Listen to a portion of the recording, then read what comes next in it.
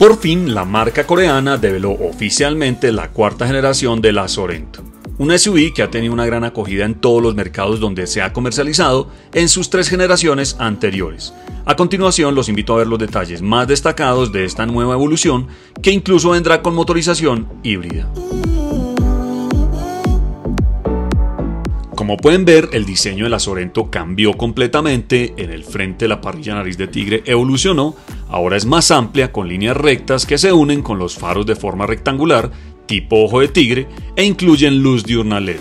El capó es levemente más largo dando un carácter más agresivo a esta camioneta.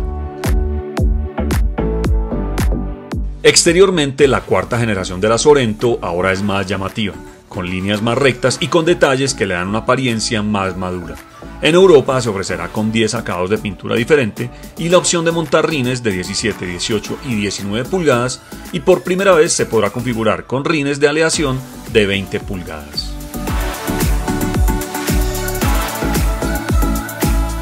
Un detalle a resaltar es que ahora el pilar C integra una pequeña aleta de forma muy dinámica, además del característico pilar D que incluso ahora es más amplio. En la parte de atrás, la nueva Sorento 2021 presenta unos stops verticales inspirados en la Kia Telluride y el emblema de Sorento grande en la parte baja de la puerta, sumado a un alerón que la hace ver más deportiva.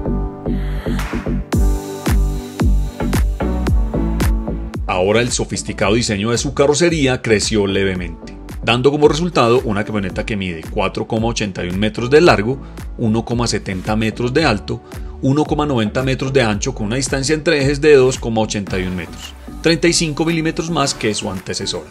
De esta manera, la nueva Sorento ofrece una amplia cabina con muy buen espacio para 5, 6 o 7 pasajeros, ya que la segunda banca podría configurarse con dos asientos individuales o alojar a tres pasajeros.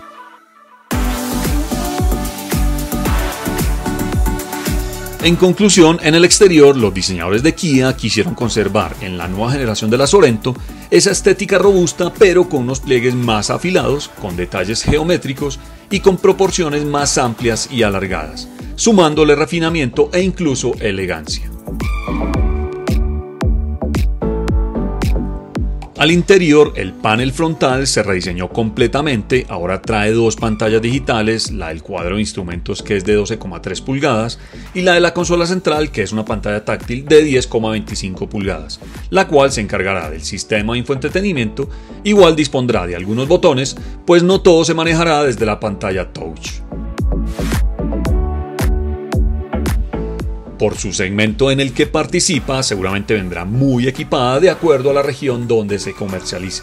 De entrada destacamos el cargador inalámbrico para celulares ubicado en la base de la consola central, además del sistema de sonido envolvente Bose, que seguramente tendrán las versiones más equipadas. A su vez, el interior tendrá mayor flexibilidad y es por esto que los asientos de la tercera fila serán ajustables dependiendo de la necesidad de más espacio, ya sea para los pasajeros o un volumen de carga adicional. También será más segura, pues equipará 8 bolsas de aire, mientras que el uso de materiales livianos permitió reducir el peso en 80 kilos frente a su predecesora.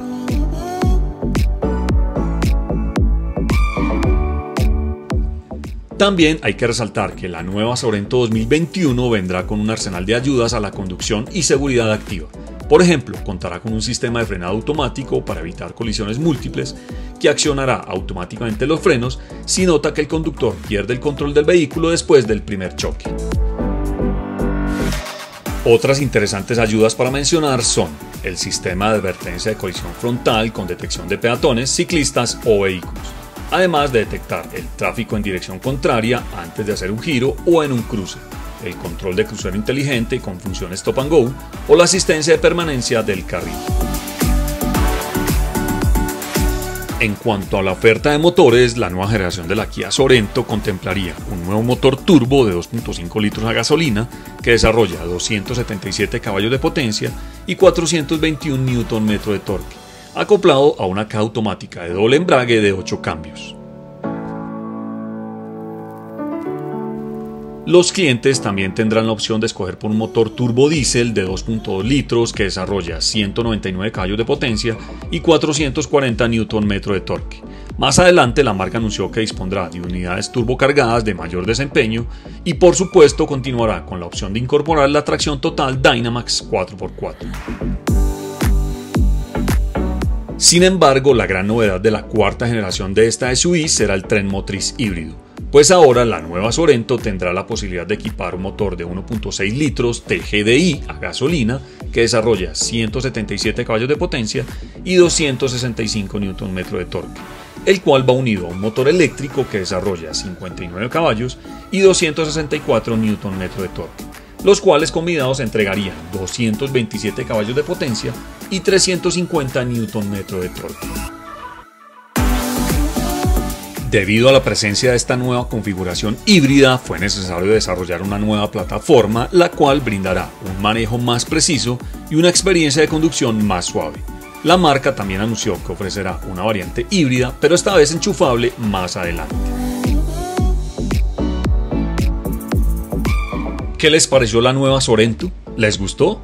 Mientras llega al país, por ahora los invito a ver en la parte superior de la pantalla la prueba reseña de la actual generación de la Sorento o búscala en nuestro canal. Y no olvides dejarnos tus comentarios o preguntas al final de este video.